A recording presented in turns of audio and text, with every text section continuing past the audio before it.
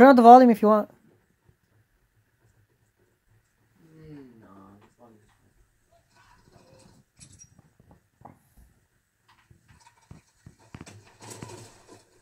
La.